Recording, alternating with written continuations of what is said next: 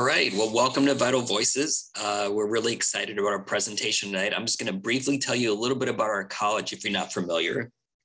We are at the University of Houston downtown, which is the second largest university in Houston and the most diverse university in Texas and the southern region. The College of Public Service focuses on community engagement and training people to serve Houston and beyond. We have award winning programs in social work, in education, and in criminal justice, uh, and really are thoughtful about how we want to interact with our community and try to better our community. And I think this presentation is a great example that as we think of the challenges going on in the world now. I think focusing and learning about trauma and grief are very important. So thank you for being here. And I'm going to turn it over to our wonderful center director, Mr. Verlano. Thank you, Dean Schwartz. Um, so uh, welcome everybody. Uh, we have the great privilege of having uh, Dr. Julie Kaplow with us this evening. Uh, I met uh, Dr. Kaplow a couple years ago when uh, we were working on a project for a, a, an organization called Generation One. And I was just so impressed at how Dr. Kaplow just gave her expertise so freely and so willingly, and was just so, just was, I, I was just oh, blown away by her willingness to engage with an organization that really, you know, they couldn't afford the help. They needed the experts, and uh, she was there ready and willing to put everything all the resources that she had behind helping this organization that works with inner city uh, kindergarten children. Um, so I was just really impressed by that, and we've we've uh, had a, a, working relationship ever since then. And she's, I just know her to be a wonderful, caring person. Uh, she'd have to be to do the kind of work that she does. Let me tell you a, a little bit about Dr. Kaplow. She is a licensed clinical psychologist, board certified in clinical child and adolescent psychology. She serves as the executive director of the Trauma and Grief Centers at the Hackett Center for Mental Health in Houston and the Children's Hospital in New Orleans. She's also the professor of psychiatry at the Tulane School of Medicine, and she serves as the CEO of the Lucerne Center for Trauma and Grief, which is a group practice providing free teletherapy services to youth and families exposed to trauma and loss throughout Texas and Louisiana. And Dr. Kaplow, prior to um, her work with the Hackett Center, uh, Dr. Kaplow uh, was the she um, was the chief exec. Well, I'm sorry. I'm I'm looking at my uh, my my other document here. Hold on one second. She was the chief of psychology and the vice chair for behavioral health in the Department of Pediatrics at Texas Children's Hospital, Baylor College of Medicine. Um, following Hurricane Harvey, Dr. Kaplow and her team provided evidence based risk screening and interventions to children and families adversely affected by Hurricane Harvey and its aftermath. She also helped to establish the Santa Fe Res- uh, Resiliency Center following the Santa Fe High School shooting, where her clinicians provided evidence based assessment and treatment to families that were impacted by the shooting. She's a strong, strong proponent of a scientist practitioner approach. Her, her primary research interests focus on the behavioral and psychological consequences of childhood trauma and bereavement, with an emphasis on therapeutically modifiable factors that can be used to inform interventions. She oversees the development and evaluation of novel treatments for traumatized and bereaved youth and disseminates trauma and bereavement informed best practices to communities around the country. So, without further ado, I would like to introduce you to my friend, Dr. Julie Kaplow. Thank you so much, Stephen, for that very kind um, introduction. So, I'm going to go ahead and share my screen um, and we'll get started. Okay. So I know that many of you, all of you, have heard of long COVID, right? So the physical symptoms that can linger after having acquired the virus. But I think what has not been talked about frequently enough is psychological long COVID. So we know that so many children across the country are grieving the deaths of loved ones. In fact, we know that about 180,000 kids have lost either a caregiver or a parent. And so, what I want to talk about tonight is this silent epidemic of childhood trauma and grief that we I, I feel very passionately about um, that we need to become more aware of. And I think educators are in the perfect position to be able to identify kids who are experiencing trauma and grief and get them the help that they need as quickly as possible. So I really appreciate all of you attending tonight. I know it's 6:30 on a Tuesday evening, so I really appreciate it. So first what we're going to do is talk about what we do at the Trauma and Grief Center here in Houston. We also have a Trauma and Grief Center that we just stood up in New Orleans as well. So we'll talk about what we do at both of those centers. I'm going to provide some key definitions related to trauma and grief. I'm going to tell you about a theory of grief called multidimensional grief theory that really explains how grief can manifest in children of different ages. We're also going to talk about links between bereavement and suicide risk and distinguishing between PTSD and grief and why this is a distinction that is very important. I'm also going to touch on one of the evidence based treatments that we've been using and disseminating for addressing trauma and grief in youth. And then I have some tips for educators and caregivers about how to best support children who are grieving. And then finally, I'm going to end with just a little bit of information about what we call the cost of caring. And that's really paying attention to the secondary traumatic stress that so many of us are experiencing when we're around children who are themselves experiencing trauma and grief.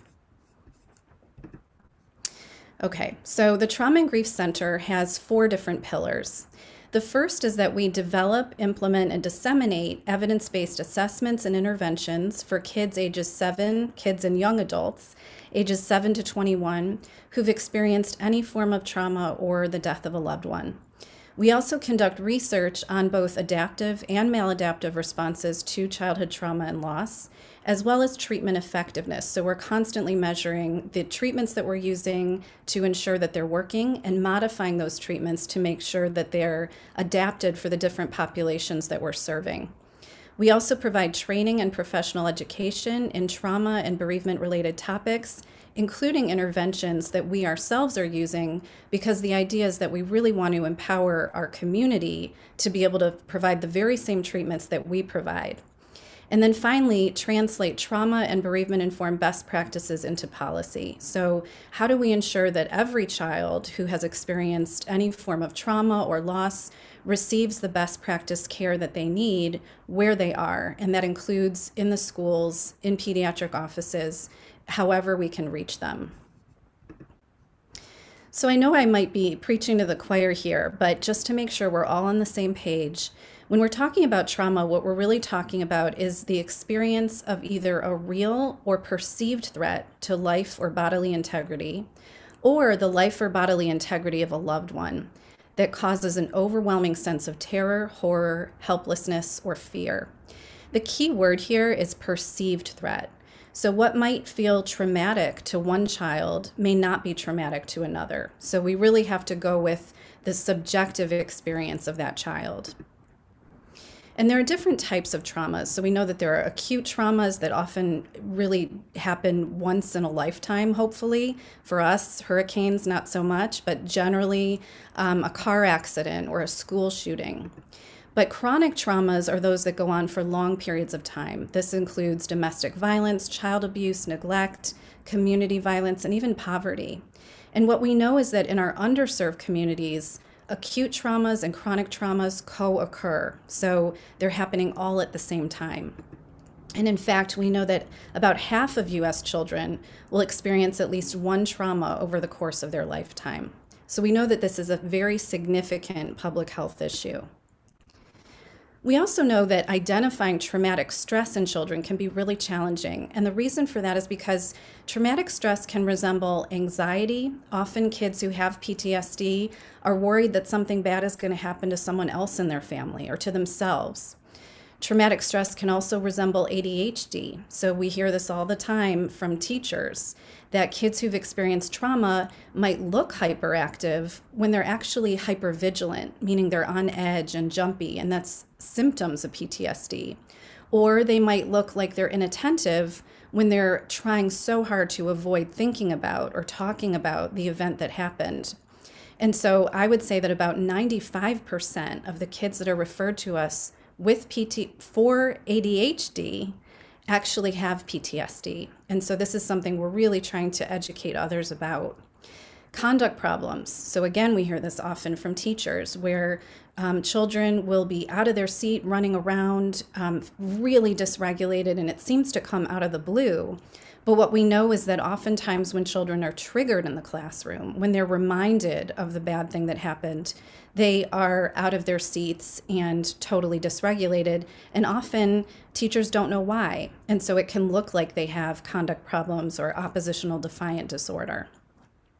And then finally, physical illness. We hear this from pediat- pediatricians all the time, where a child may be presenting with constant stomach aches or constant headaches. And what we know is that for children who are very avoidant, who don't want to talk about what happened, often those PTSD symptoms can manifest physically in somatic complaints.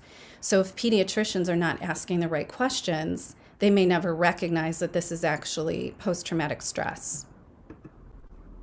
I do want to share with you a couple of quotes from teachers that we interviewed following Hurricane Maria. And I think this really exemplifies how children's behaviors, when they're traumatized, can get misunderstood. So, one kindergarten teacher says, Our kids were already acting out before the hurricane, but things got much worse afterwards. Sometimes the whole class feels out of control. And then another teacher says, So many of the children seem to have ADHD, they just can't keep still and, and listen for more than a minute. So again, the perception is that the kids are out of control, they have ADHD, they might even be perceived as oppositional. But again, what we know is that this is often what PTSD looks like, especially in young children. So I want to share with you an experiment, and you'll have to humor me because I don't normally like to compare children to rats. But I do think this is a really good example of what can happen when children are in a stressful environment. And so this was a study done back in 1998 by Panksepp. And what he did is he studied rat play. And his hypothesis was that when rats were in a calm, continuous state where nothing was stressing them in their environment, they would be able to learn from their environment, absorb new information, and even experience what he called joy. What he also hypothesized is that when rats were stressed, when they were in an environment that was toxic or scary, that they would not be able to absorb and learn, and they would not experience joy. And so, what he did is he looked at the play of rats, lab rats, in a cage. And so, these were lab rats. Again, they had not been outside of the cage. And you can see here that over the course of four days, they were playing, you know, and, and frolicking and running around in the cage. And then on day four, he inserted a single cat hair into the cage. Remember, They've never seen a cat. But once that cat hair was introduced, the rats not only stopped playing, but they froze. So they literally were not moving. And then on day five, what's really interesting is that he removed the cat hair, but the rats never returned to baseline. They never played, um, and he followed them for over a month. Now, what does this mean for our kids? What this means for us as, as mammals is that we are wired to respond to danger and threats to safety. So, for example, if a child is living with the cat or a perpetrator and the perpetrator is removed or the child is re- removed from the home, we can't expect them to just snap back and learn and absorb from their environment and experience joy. What we have to do is create that sense of safety and security over time so that they can get back to a place where that's possible. So, just recognizing that is a critically important piece of creating a more trauma informed classroom environment. So, the key question becomes the million dollar question is not what's wrong with that child, but what happened to that child. So, recognizing the impact of the environment on children's behavior. We also know that there can be very significant long term consequences if trauma does not get addressed right away. So we know that over time, if children experience chronic traumas, they actually have smaller brain volumes, more risk for depression and suicide, school problems, problems with peers, substance abuse, violent behavior, delinquent behavior, and even the intergenerational transmission of trauma or traumatic stress. So this can go on for generations. And so, again, this speaks to the need to intervene early, especially because our society's most significant problems stem from unresolved childhood traumas. Um, so, again, if we can intervene early and address these things early on, we can actually prevent some of the most significant problems that we're dealing with right now. So, I want to move to a very specific form of trauma, which is bereavement. So, bereavement is the experience of deprivation or loss by death, and grief is the psychological or behavioral response that arises from bereavement. So, in other words, bereavement is to trauma as grief is to PTSD. And the reason this is important is because there are many studies that look at the impact of bereavement on children over time. There are very few studies that look at how children are actually dealing with that bereavement. So they don't look at grief. And this is an area that we're actively trying to explore because it's so critically important. So, why focus on bereavement? as a particular form of trauma. We know that it's actually the most frequently reported type of trauma in clinic referred youth. It's also the most common form of trauma worldwide. It's the most distressing form of trauma among adults and youth in the general population. So, if you were to ask anybody, what is the hardest thing that's ever happened to you? The vast majority would say it was the death of my mother, my brother, my sister. It's also the strongest predictor of poor school outcomes above and beyond any other form of trauma. So, this was a study conducted by my former postdoc, Ben Oosterhoff, who looked at about 10,000 students across the country and found that the sudden death of a loved one was actually the strongest predictor of poor school grades, school dropout, school failure, um, lack of school connectedness, above and beyond sexual abuse, physical abuse, witnessing domestic violence. So, this is something that we're really trying to raise awareness about, especially in the school setting, given that often bereavement is sort of overlooked as the kind of issue that could actually create these long term school problems. And this is particularly relevant for youth of color. So, what we find in our data and in national data is that youth of color tend to have higher rates of both PTSD and maladaptive grief because of the fact that they're experiencing higher rates of COVID 19 related deaths as well as violent death. So we want to obviously be very attuned to the fact that this is a population that really needs our attention. I also want to talk for a minute about bereavement among justice involved youth, another very important population. So, most detained youth report the death of a close loved one with most experiencing at least two or more significant, with over 70% experiencing at least two or more significant losses. Detained youth report experiencing their first death on average by the age of five. Deaths are most frequently characterized by violent losses in this population. And more than half of detained youth report the death of a primary caregiver, although only a minority of these primary caregivers are parents. So again, this speaks to the importance of really recognizing how families are, are constructed. Um, and in this population in particular, that there may be lots of losses that are critical for this group um, that, that go beyond that primary caregiver, um, that the parenting role. So, children's grief reactions, not simply bereavement, play an important role in future psychological functioning. So, this is a really important take home message that we can't just say that death of a loved one leads to poor outcomes. We need to really be looking at grief reactions and how that child is handling the bereavement to be able to, to make more of a, a more accurate prediction. So, there are some facts that I just want to lay out about grief that I think are pretty important.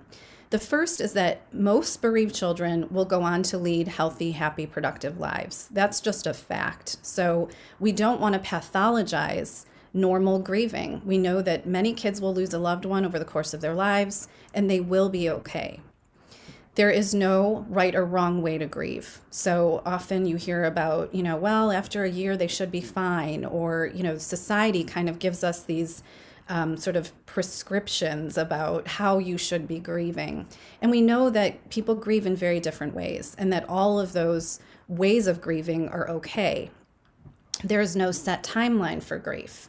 So, um, you know, the bottom line is that grief is not a problem to be fixed. It is a natural part of um, of life and a reflection of the love that we had for the person who died. So it's not as if grief stops. It changes certainly over time, but because you loved that person, that grief will remain. Now, that's not to say that some people can't get very stuck in their grief, and including children. So that's really what we're going to sort of hone in on now is how do we know? How do we know what is normal, healthy grieving versus more maladaptive grieving? So, this is multidimensional grief theory. I've had the privilege of working with some colleagues at UCLA on this theory, Chris Layne and Bob Pynoos. And what we have found, both empirically and also through our clinical work, is that grief in childhood is multidimensional, meaning that sometimes you'll hear in the adult literature about someone having or not having prolonged grief disorder, or having or not having complicated grief. But with kids, what we find is that grief can manifest in three primary ways. We know that there can be separation distress. This is yearning and longing for the person who died. There can be existential or identity distress. This is feeling lost without the person, or how am I going to get through life without the person? Or there's circumstance related distress, which is exactly what it sounds like being very preoccupied with, with the way the person died. So I wish I could have intervened, or I wish they didn't have to suffer so much. But we also know that for each of these dimensions, there's an adaptive counterpart. So, for example, I was treating a young girl whose mom died um, of cancer, and she and her mom were extremely close. And so she was devastated at this loss. And when we worked together, what we started to realize is that the more she engaged in behaviors that she used to do with her mom, like making her mom's favorite apple pie or taking swim lessons, because that was something they really enjoyed doing together, the more she felt connected to her mom in a different way, but a healthy way. So we would say that would be the adaptive side of separation distress. With existential or identity distress, we hear all the time I don't know how I'm going to get through life without my dad, for example. But we also hear things like, I want to do things that would have made my dad proud of me, or I want to live the kind of life that he would have wanted for me. That would be the adaptive side of existential or identity distress. And with circumstance related distress, believe it or not, we see this all the time in children, even as young as, as age eight. So there was a young boy that I was working with whose father died in a tragic plane crash. And when I asked him, What do you want to be when you grow up? he said, I want to be an engineer so I can make planes that don't break anymore. Um, we hear things like this all the time. And in fact, some of society's most important in- inventions and interventions come from tragic losses. So things like seatbelts, mothers against drunk driving, exit doors, um, you know, fire alarms, all of these things stem from having lost someone. Um, and so, what we want to do in the interventions that we use is really harness that more adaptive side and make meaning of the loss and help kids to transform those circumstances into something that can help other people. So, these are some examples taken from trauma and grief component therapy. Um, these are illustrations that are in this treatment manual, and I'm going to talk more about this therapy in just a few minutes. But this is an example of separation distress. So this boy's father died, and his mom is saying, Your dad would want you to enjoy these tickets. Why don't we go to the game together? And he's thinking, I can't ever go back there anymore. It won't ever be the same without him. So we see this all the time where kids start to shy away from the activities that they once enjoyed because doing those things without their person there is just too painful for them. This is an example of existential or identity distress, and this is a girl whose father died, and he was her biggest cheerleader. And she just got accepted to her college of choice. She's thinking, I don't care about my future anymore if he's not going to be a part of it. He'll never see me graduate anyway, so what's the point? So we often see this in adolescents who are grieving, where they will give up on their hopes and dreams and aspirations for the future if the idea of pursuing those is too painful without their cheerleader there, without the person who is supporting them. And then finally, this is an example of circumstance related distress. This is a girl whose brother died in a gang fight. Every time I see his picture, I can't help thinking about the night he got killed. It gets me so mad that it's hard to remember the good times. So she may want to positively reminisce about her brother, but every time she thinks about him and the way he died, she is flooded with those very upsetting thoughts and images and feelings related to how he was killed. And so it's very hard to hold on to those positive memories. So, why are we using this multidimensional framework? We believe that this is an important framework because different dimensions of grief may be more prominent at certain developmental stages. So, what we're seeing in our research is that separation distress tends to be more prominent in young children, whereas existential or identity distress tends to be more prominent in adolescents, which makes sense if you kind of think about the developmental tasks of each of those age groups. Different dimensions of grief may not be present in all bereaved populations. So we know that in environments where there are high levels of community violence, we tend to see higher levels of circumstance related distress compared to other areas where the violence is not so high. And finally, what we know now is that different dimensions of grief may require different treatment components. So, in other words, the way we go about addressing and supporting kids who've experienced who are experiencing separation distress, for example, looks very different than how we would support them if they're experiencing circumstance-related distress. So, the take-home message here is that one size fits all treatments for grief are not very effective. Um, and we know that now because if we can hone in on the specific dimensions that a child is experiencing, that's where we really start to see improvements. So I want to take a minute to just talk about this link between bereavement and suicide risk. So we know that suicide was already a public health concern even before the pandemic. And it was, you know, back in 2016, it was the second leading cause of death among adolescents 18% of high school students report seriously considering suicide, and 9% report an actual suicide attempt in the last year. And we know that these have increased at least slightly since the pandemic. We also know that adverse life events are linked to suicide risk, including physical abuse, sexual abuse, family violence, discrimination, natural disasters, and of course, bereavement. And so this is what I want to just hone in on right now is this link between bereavement and suicide risk, particularly in adolescents. So, what we often find in adolescents who lose a loved one is that they may have some reunification fantasies. This idea that somehow, if they die, they will be reunified. And obviously, this depends on their own spiritual beliefs or religious beliefs. But this was um, an actual example of a girl that I treated and she and this is coming again from trauma and grief component therapy. She's thinking it doesn't matter if i live or die. If i crash the bad news is i'm dead but the good news is i get to see my friend again. So this is a girl who lost her best friend and she's fantasizing about what could happen if she does die. And this can come in a couple of different forms. It can come in the form of risk-taking behavior so driving recklessly is an example or it can come in the form of just sort of passive i don't care if i live or die now, one of the things that's so important about this is that we don't want to just assume that all kids who are having reunification fantasies are at high risk for actually dying by suicide. And in fact, we know that this is a normative kind of reaction, but we do obviously want to monitor that if we're seeing that in one of the teenagers that we work with.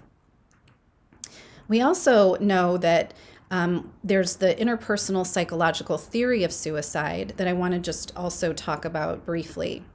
So, this interpersonal psychological theory of suicide um, was was developed by Joiner, and the idea is that there um, he require he basically says that there are two things that are required in order for someone to die by suicide, and the first is thwarted belongingness. This is a fancy way of saying loneliness or perceived lack of support.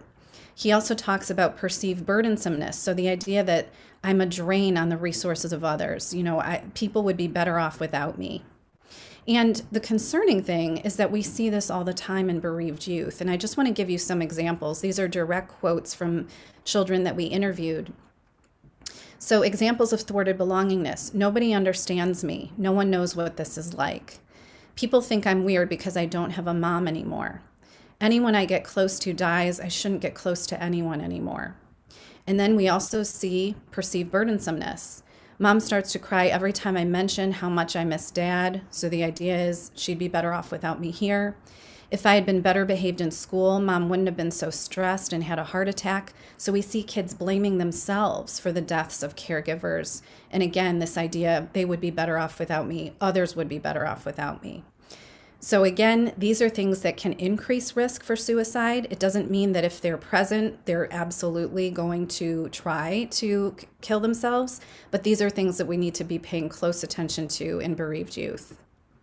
We also know that there are some bereavement related risk factors that are specific to the context of the pandemic that we've recognized over the last two years. The first is that we see increases in thwarted belongingness as a result of social distancing. So this has been a real problem. Um, fortunately, obviously, we're, we're sort of back to being in groups again and back to being able to socialize to some degree. But for those kids who lost a loved one during that period of time, that was additionally painful, especially because they probably did not receive the needed support that they the, the support that they actually needed, either at the funeral or in the weeks following because of social distancing. We also see increases in perceived burdensomeness as a result of ongoing pandemic related stressors. So, for many parents, um, who lost their spouse, you know, they not only had to find another job, but, you know, because of the pandemic, that may have been even more difficult for them. So children may be sort of carrying that additional burdensomeness in the context of the pandemic. And we also know that youth may be at higher risk for suicide as a result of the circumstances of the death. And I'm going to talk more about that actually in just a minute. So this is what I want to sort of move into at this point is thinking about how do we define traumatic bereavement? What are the circumstances of the death that would be considered a traumatic death? So, what I'd like you to do is um, I'm going to be reading you excerpts from two case studies. These are, were actual youth that we treated through the Trauma and Grief Center. And I'd like you to just imagine if this child were sitting in front of you, what would they look like? What would they be presenting like? Um, sort of picture in your mind what that would look like for you. So this was um, a nine-year-old that we treated. Her, she is in a tragic car crash with her mother and father. Her mother is killed after suffering from numerous internal injuries. The child is not hurt, but she observes her mother's lifeless body from the back seat of the car. The second one was um, this is a 12 year old boy who experiences the anticipated death of his mother after suffering from breast cancer for three years. He served in a caretaking role during that time and had ample opportunity to say goodbye. So what I'd like to do now is present you with two quotes, one from each child, and I want you in the Q&A, if you're comfortable, to just tell me if you think this is the 9-year-old girl talking or the 12-year-old boy. So here's the first one. This child presents with extremely high levels of PTSD, minimal symptoms of maladaptive grief. During the interview, the child states, I just keep remembering it and I feel like I'm right back there again. I can't get it out of my mind. So, how many of you think that this was the nine year old girl? And how many think this was the 12 year old boy? Okay, so one vote for nine year old girl, 12, 9, 9, 12, 9. Okay, it looks pretty mixed, but actually, it looks like a few more of you think that it's the nine year old girl. Okay, so now what I'd like to do is move to the next one. I'm going to close this for a minute. And, oops, I skipped over one. okay. Um, this child presents with high levels of separation distress and existential distress, minimal symptoms of PTSD. During the interview states, my mom was like my best friend. I just want her back. I just want to see her again. So um, do you think this was a nine year old girl or 12 year old boy? Okay, 12 year old boy. Anyone else? 12 year old boy, 12 year old boy, nine year old, 12 year old boy. Okay. So um, this was a little bit tricky, and I will explain why I use this example. So actually, the nine year old girl presents with extremely high levels of separation distress and existential distress, minimal symptoms of PTSD. During the interview, she states, My mom was my best friend. I just want her back. I just want to see her again. So I'll be honest with you, when we first saw this child, before she came in to the office, um, you know, we work in, so when we were um, seeing kids through our trauma and grief center, the way it was set up is that we would, I would be behind the mirror with several of our team members providing guidance to the person who was seeing the child. So we had sort of a bug in the ear kind of thing going on. And even before the child came in, we all agreed that this was a child that was likely going to have high levels of PTSD. She was in the car at the time, she witnessed the entire event. And when she came into the room, I will tell you that this was the first and only time I can remember where there was not a dry eye behind that mirror, meaning that we were all crying. And the reason was because this child's sadness and sorrow and separation distress was palpable. Um, there was not a trace of PTSD. There was no fear, there was no hypervigilance, there was no being on edge. Um, and in fact, her assessments showed that. So there was no PTSD symptoms to speak of, but intense separation distress. So, what the therapist ended up doing with her was finding, helping her to find healthy ways of connecting to her mother through guiding the surviving caregiver, through interactions with the two of them, through finding ways of memor- memorializing her mother. Now, if we had used a more trauma focused approach, where we would have talked about the details of the car accident who was there, what does she remember, what did she see, what did she hear I truly believe that would have caused damage. What she really needed was, based on her assessment, more opportunities to feel connected to her mom. Um, the second one is also interesting. So, this was a 12 year old boy who presents with extremely high levels of PTSD, minimal symptoms of maladaptive grief. During the interview, he states, I just keep remembering it, hearing my parents crying together in their bedroom, and my mom saying, I know the treatment isn't working. I feel like I'm right back there again. I can't get it out of my mind. So, obviously, I left out one of the sentences here because it would have given it away.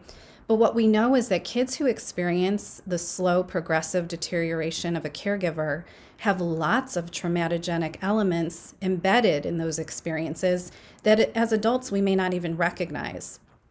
So, in other words, a parent may believe that a child you know has time to say goodbye that they're prepared but really what the child is seeing and hearing can be extremely scary and in fact we know that cries from caregivers, those in a caregiving role, are some of the strongest and most potent trauma reminders. So it's not surprising that this would be extremely traumatic for this child. And in our society, again, there's this mistaken notion that if the death is anticipated, then it's unlikely to cause post traumatic stress or be traumatic. But what we find also in our empirical data, and this was a study that was replicated recently, um, we looked at kids who had experienced the death of a parent and found that those who lost a parent by illness, anticipated illness, actually had higher levels of PTSD symptoms and maladaptive grief compared to kids who experienced the death of a parent due to an accident, like a car accident, or a sudden natural death. But, you know, of course, suicide and homicide still produce those very high levels of PTSD as well. But again, this finding that the anticipated deaths tend to elicit more PTSD than these other types of deaths may be counterintuitive. Um, but again, very important to recognize in those kids that are experiencing the impending death of a caregiver. So, I want to move now into really distinguishing PTSD from grief and why this is a difference that does make a difference. So, PTSD and grief are not the same thing. They have different precipitating factors. And what we mean by that is that when kids are confronted with a trauma reminder, so people, places, or things that remind them of the scary event that happened, that tends to lead to PTSD. But when they're presented with a loss reminder, people, places, or things that remind them that their person is no longer there physically, that tends to segue into grief reactions. And I'll explain in a minute why we think this distinction is so important with regard to trauma and loss reminders. They have different physiological effects. And so sometimes when we really try to help people understand this difference between PTSD and grief, if you imagine the last time you were so petrified that you didn't know whether to run or freeze in place, that is often what PTSD feels like in the body. But if you think about the last time you were so sad that you didn't know if you could stop crying, or even were worried about crying because you weren't sure if you could stop the floodgates, and feeling that intense sorrow, that is very different physiologically from trauma. And so imagine those kids, especially in our underserved communities, where they're experiencing trauma and grief at the very same time. That is both physiologically and psychologically incredibly taxing. And so, again, this is why we really want to be able to intervene early for those kids that have both traumas and losses. And they require different assessment tools. So, the way we go about screening for and assessing PTSD is very different than how we screen and assess grief. And finally, they require different practice elements. So just like we talked about, you know, different dimensions of grief require different practice elements. Similarly, the way we go about treating PTSD is very different than the way we treat grief in children. So I want to just um, get, share with you a couple examples of what we what we think about when we're referring to trauma versus loss reminders. Um, so, first, defining this again trauma reminders are images, sounds, smells, people, or situations that remind the child of the traumatic event. This is again what often leads to PTSD. Whereas loss reminders are images, sounds, smells, people, or situations that remind the child of the absence of the person who died. And this is often what leads to grief reactions. So, I want to share with you um, an interview that we conducted with a 17 year old who actually witnessed the murder of her mother by her father. Not only did she witness the murder, um, but she tried to intervene. So, she was extremely traumatized. And you'll see that this was um, when we were testing out a new semi structured interview for PTSD. So, you'll see that the questions are pretty scripted. But I think this gives a really good example of what we mean by a trauma reminder. The clinician says, Do you get very afraid, upset, or sad when something reminds you of what happened? The patient says, Oh, yeah, screaming, the door slamming, firecrackers. That and seeing or hearing arguments. Whenever I hear somebody fussing or anyone arguing, especially if it's a man, I want to run and just go get a knife. It brings me right back. I get to the point where I'm so scared I'll kill you if you make another move. I wouldn't mean to do it, it's just out of fear. They could even just be playing, but just hearing that scream, it just makes me feel like I'm back there again. And the clinician says, and when these things happen, how much do they bother you? And the patient says, on a scale of 1 to 10, I'd have to say 20. So if you think about some of the things that she's encountering probably on a daily basis, like screaming on the playground or doors slamming at school or even at home, hearing arguments, she is probably completely overwhelmed with that onslaught of trauma reminders, which is likely why, for her, this is up to a 20, that this is just overwhelming. And you can see that these are things that remind her of the incident, especially firecrackers, we know is sort of a classic reminder of the sound of a gunshot. Um, and screaming, of course, fussing, arguing was what directly led to the death of her mother. And then the clinician goes on to ask some questions, and I think this is a really important distinction. She says, And have you tried to stay away from people, places, or things that remind you of what happened? The patient says, I can't go to the mall anymore. I went only one time after she died, but I couldn't go after that. There's a lot of stores and stuff that I like there, and I want to go so bad, but I can't because I don't have my mama anymore. The clinician says, Is that because the mall reminds you of what happened, or she says, The mall just reminds me of her in general. Through good times and bad times, we always went there together. So, this is not a trauma reminder, right? This is not reminding her of the incident. This is reminding her, I don't have my mom here with me, and it's too painful to do these things without her. So, why is this an important distinction? The reasons it's so important is because, number one, when we know what kids' personal trauma and loss reminders look like, we can help predict how they might react in different situations. And this is particularly important in school and classroom environments where kids may be reminded of things without the teachers even recognizing it, like the sound of the school bell ringing or doors slamming, for example. If we are aware of that, we can help to empower teachers and students to either avoid those things or to plan for how they're going to cope with those things as they encounter them. So, what I also want to emphasize here is that we do need treatments that distinguish between trauma and grief. So, this is one of the examples of the interventions that we've been both using and disseminating to school based clinicians, um, not only in the greater Houston area, but actually nationally. So, trauma and grief component therapy is what's known as a modularized therapy. And it has four different modules. The first module is really focusing on group cohesion, psychoeducation, and basic coping skills. So, one thing that I'll mention is that this is an intervention that can be used either individually or in groups. It was used after 9 11, after Columbine, after the Santa Fe school shooting, after Hurricane Harvey. Um, so, it's been used in all kinds of traumatic situations, but it's also been used in juvenile justice settings, in places where there are high levels of community violence, where trauma and loss are very prevalent. The second module is focusing on trauma processing. The third is grief processing, so reducing the more maladaptive grief reactions and harnessing those more adaptive grief reactions. And then the fourth module is helping kids to have goals and aspirations for the future and how to get there.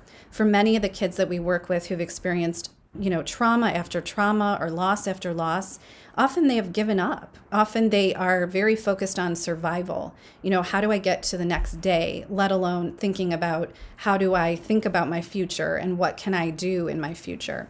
So, this has been a really important module for those kids that, again, have had those cumulative traumas and losses. And so, what do we know about TGCT in terms of its effectiveness? We know that it reduces PTSD, depression, and maladaptive grief reactions, but we also know that it improves school behavior. So these are some of the things that, again, can be um, sort of the consequences of experiencing trauma and grief. Often they tend to have um, you know, school problems, as we mentioned before. But using TGCT, we've found that, that school behavior improves. And these things include enhanced classroom rule compliance, positive peer relationships, enhanced school performance, increased school interest, decreased school anxiety, and importantly, decreased violence. So um, I do want to say, I'm going to go back to this slide for one minute. You know, we um, offer trainings in trauma and grief component therapy through the Trauma and Grief Center. About quarterly, we will provide a free two day training to school based clinicians and um, these clinicians become part of what we call our Trauma and Grief Coalition.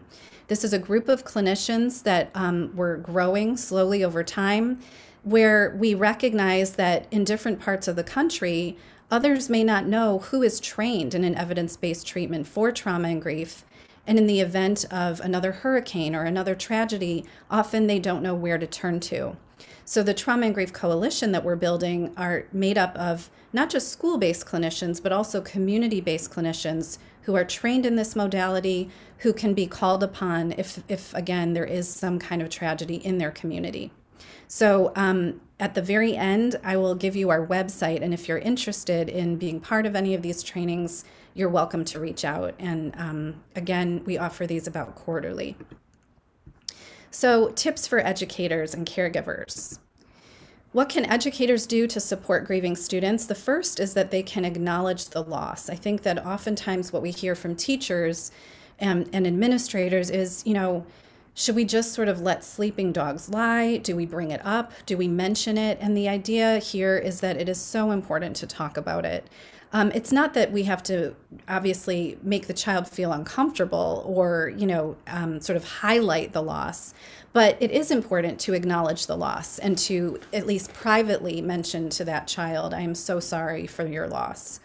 It's also important to empower the student, the, the student himself or herself who's coming back from having experienced a loss. So, one of the best ways I saw this um, sort of play out in a classroom is that a child lost his mother, he was going back to school, and we worked with the teacher to kind of figure out what to do. And instead of having each individual child approach this student with a condolence card or words of support, um, the teacher put together a large envelope filled with cards from the students. She handed it to the bereaved student and said, We just want you to know we're thinking about you. You can open this whenever you feel up to it. And so it really empowered the student to, on his own terms, be able to look at those things and, and hold on to them as opposed to feeling, um, you know, like bombarded with a lot of attention. We also want to give students words to express support. Just as we as adults struggle to find the right words when we're offering condolences to an adult, children also have trouble. So, as teachers and administrators, we can tell them, you know, um, some of the nice things you might be able to say are, I am so sorry for your loss. I'm here if you want to talk. Um, I, I'm here if you need me. So those are just some examples, but giving kids those words are, is a really important piece of this.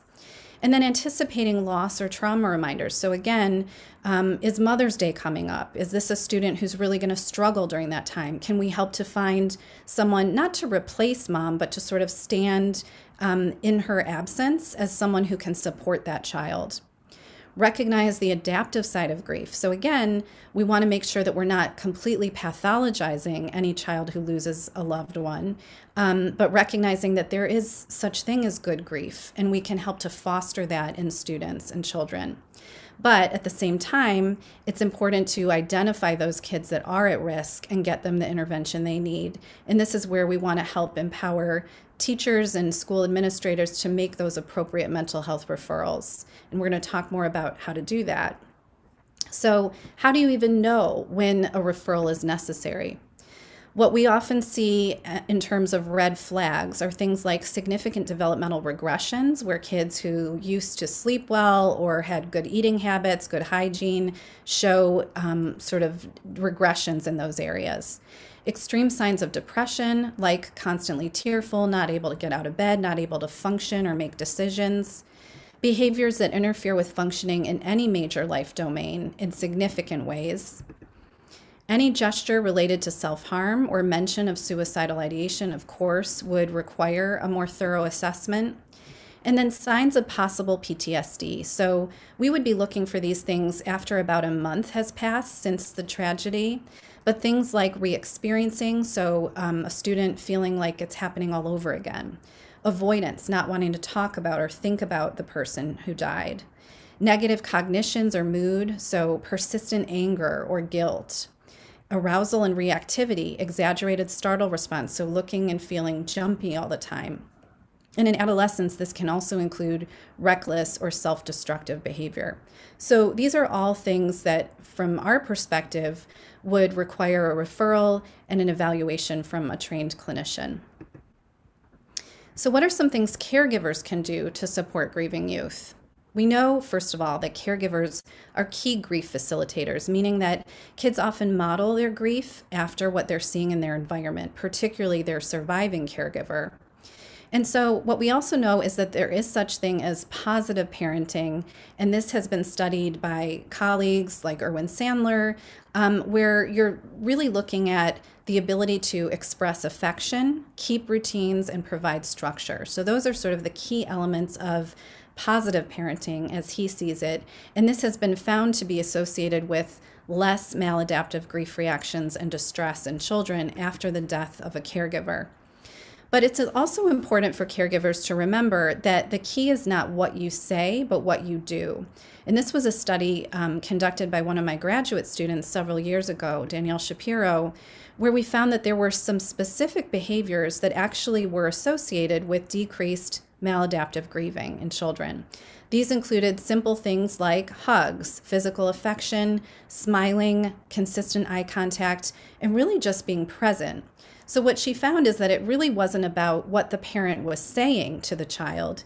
It was much more focused on what was the parent doing? Did they feel like they were present in the room? Were they bearing witness to the child's pain? And were they able to be fully present even in the midst of that grief? And so these are more specific things that caregivers can do to support grieving youth. One is, um, you know, to address separation distress. So we know that this is very common in grieving kids. So the idea here is to help kids find healthy ways of connecting with the person who died. This can include things like writing a letter and including writing a response to the letter. So, for example, if a child writes a letter to their deceased father, um, having the child then write a response, what would she hope that dad would say back to her? That's actually a really critical part of that exercise. identifying mementos that they can hold on to, tangible objects, or talking openly about the person. That's really important. And I chose this illustration because this was a patient that was seen at the Trauma and Grief Center who suddenly lost her father. And you can see here that um, he is depicted playing cards in heaven with his, um, his own father who had passed away. And um, he's in his lounge chair watching TV. And if you look up here, this is what they referred to, the child referred to as the family channel, but it was just her own family. So he was watching live what they were doing. Um, and he was watching from heaven. And you can't really see it right here. There's a little sign that says to real life. And what she said is that when um, dad is watching TV and he sees that there's a very special family event, or if the family is distressed in some way, he can just come on down through this gateway and be there in spirit. And so I thought this was just such an amazing example of how children can make sense of this and can find ways of feeling connected, even if it's through a tech savvy way that I myself would not have thought of. To address existential distress. So, these ideas are really related to helping kids identify traits or behaviors that they had in common with the person who died. So, how can they carry on their legacy or find ways to honor their memory? Um, so, for example, a child said, You know, my dad was so funny, he had the best sense of humor. Um, I'm going to try to be funny. Or, you know, even if it's just habits they acquire or positive traits. So this child here is saying they would be so proud. Again, finding ways of living their life that, you know, in their own mind would have made the person proud of them. That's a way of addressing existential distress. And then, what can caregivers do to support grieving youth around circumstance related distress? This one is a little bit tricky because if kids still have questions or concerns about the way the person died, this often requires a difficult conversation about how the person died. Um, kids have trouble making meaning of the death if they still don't really understand how they died. So that's sort of the first piece of this is really helping kids to understand the circumstances and then brainstorming about how they can transform the circumstances into something meaningful that can help others. This can be raising money for breast cancer. It can be, um, you know, becoming an ER doc so that um, they can help people in the way that they wish their own parent had been helped. So um, we've seen this time and time again. Kids will gravitate toward careers that in some way may have changed the circumstances of their own caregiver's death if that person had been there for them. Um, and this is something that the surviving caregiver can, can really help with. So I want to just touch on, before we end, a really important topic, which is the cumulative impact of traumas and losses on us as caregivers, parents, teachers, those who are caring for children. So, what we see here is that, you know, past trauma can um, then start to accumulate with bad news, the pandemic itself, more stress, and then you have a minor incident like stubbing your toe and you're sobbing right? And we see this happening all the time where the most minor things seem to cause an eruption of emotion. Um, and this is very normal. And what we know is that when that is happening, that means that something's got to give. Um, and we have to be paying more attention to what's going on for ourselves and to be focusing on our own self care. So, self care is the ability to engage in helping others without sacrificing other important parts of one's life. So, it's not as if we're saying other people's problems don't matter, but what we're saying is my um, own, you know, my own life, my own happiness is just as important. I need to be thinking about how I'm going to foster that so that I can still be present and helpful to other people. So, this is something we often tell both teachers and parents you have to put your own oxygen mask on first, right? You have to ensure that you're getting the support you need in order to be there for your students, in order to be there for your kids. And I will just mention that there are lots of terms being used for the cost of caring. So, vicarious trauma, this is sort of experiencing the trauma that your students are experiencing. Vicarious grief, secondary traumatic stress, this is when you actually start to develop symptoms of PTSD because of what you're seeing others experiencing or hearing about. Compassion fatigue, of course, most people know what that is, where you're just, you know, you can't do it anymore. You're feeling like I just can't go on um, and burnout. But there is good news. The silver lining is that we know that there is something called compassion satisfaction, that we can derive great pleasure from helping others, that you can know in your heart of hearts that what you're doing is actually making a difference for children. We also know there's something called vicarious resilience. This is positive transformation as a result of bearing witness to individuals overcoming adversity. And I would say this has been the one most important thing that I see in the clinicians that work with me is that that's incredibly powerful to see that kids are overcoming tragedies and losses um, in a way that is actually helping them to um, be stronger and to come out on the other side um, in a better place. And that can be incredibly healing for us as clinicians. And then engaging in self care and self compassion can help reduce the cost of caring and increase personal resiliency. So, this is a talk in and of itself, but just recognizing that the key, again, is self compassion, um, knowing that you yourself deserve to be happy, to be content, and making sure that there's room in your life to be paying close attention to that so that, you know, so that you are able to be able to help other people um, over time. So I want to just mention a few resources that we have um, that could be helpful. The first is that our Trauma and Grief Center has what's called a virtual learning library now, where we have webinars, freely downloadable webinars on different topics related to trauma and grief for different audiences, including teachers, caregivers, law enforcement. Um, we are we are soon going to have Spanish versions of those trainings as well. And we also have handouts for caregivers focusing on um, different ways that they can support children who are grieving. And I'm going to touch on those um, right now. So we have um, a series called The Power of Parenting, where we, what I love about these is that we've had caregivers with lived experience provide quotes and guidance and information to other caregivers who are experiencing the very same thing. And so these handouts really come from a place of knowing what it is like to experience the death of a loved one. So we have those that focus on helping kids cope with the impending death of a loved one, um, how to cope um, in the event of um, substance use overdose, or we also have one focusing on suicide. So how do we help kids overcome these these very tragic circumstances? And then finally, I'll mention that, um, as Stephen mentioned earlier, we have the Lucene Center for Trauma and Grief. Um, we are housed here in Houston, but we see kids across the state of Texas and throughout Louisiana through teletherapy. So we only provide teletherapy. We don't see kids in person, um, but we will see kids ages eight and up who have experienced a trauma or a loss. And again, um, the services are free of charge. So if anyone is interested, that is the website.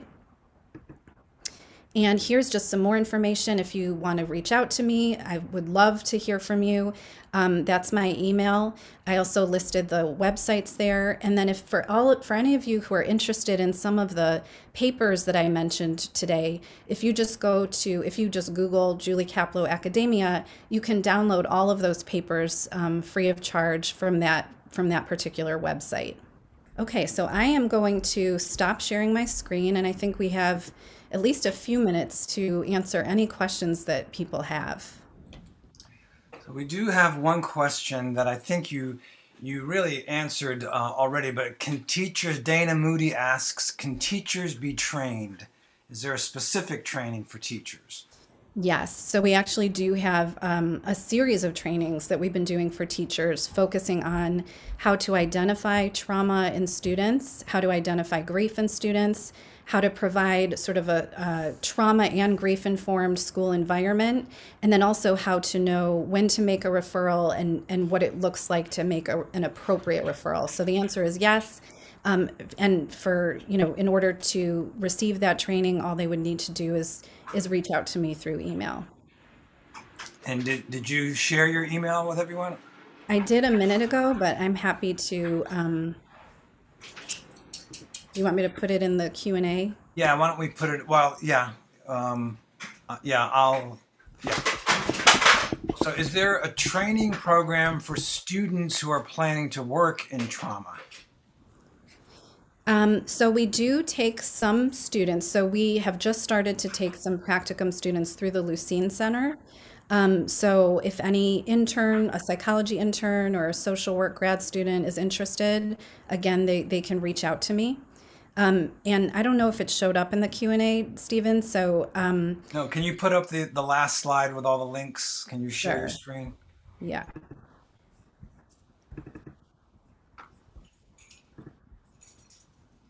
Oops.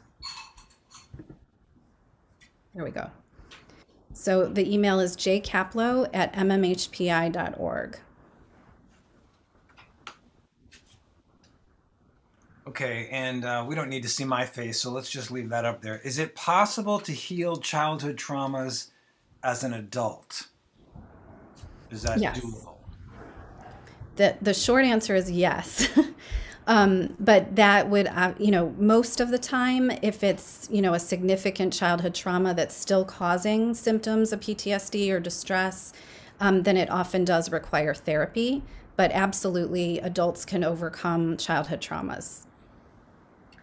What is the specific age that child in, in what is the specific age that child encompasses? Like zero to eight? Oh yeah. So when you're referring to ch- children, what's the age group that you're referring to? So when I'm referring to children that we serve, um, we we serve kids ages eight and up through the Lucene Center.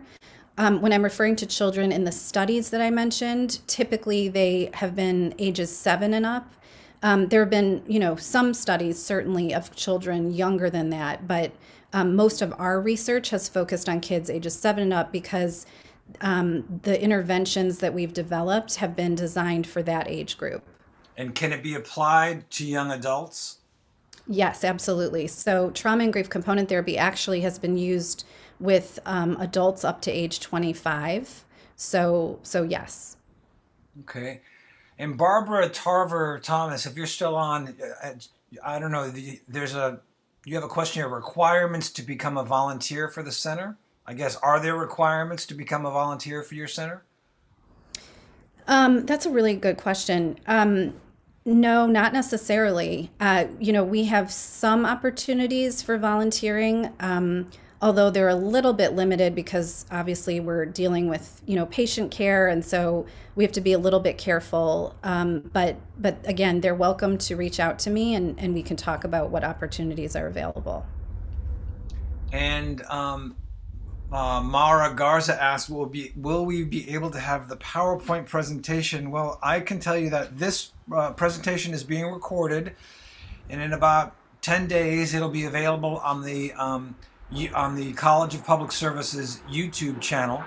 So um, the PowerPoint presentation will be in the, you know, is recorded as it was here tonight.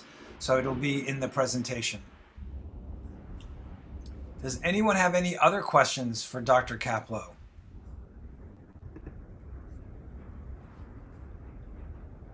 All right. Well, Dr. Kaplow, thank you so very much. Dr. Kaplow is coming back in April to give a, a sort of modified version of this presentation, more specifically geared to practitioners, social workers, and uh, criminal justice professionals. As you would imagine, the different types of trauma, you know, as she was alluding to tonight, it's very, the trauma and grief is very specific to circumstances. And so she'll be giving that, uh, that, that presentation in April.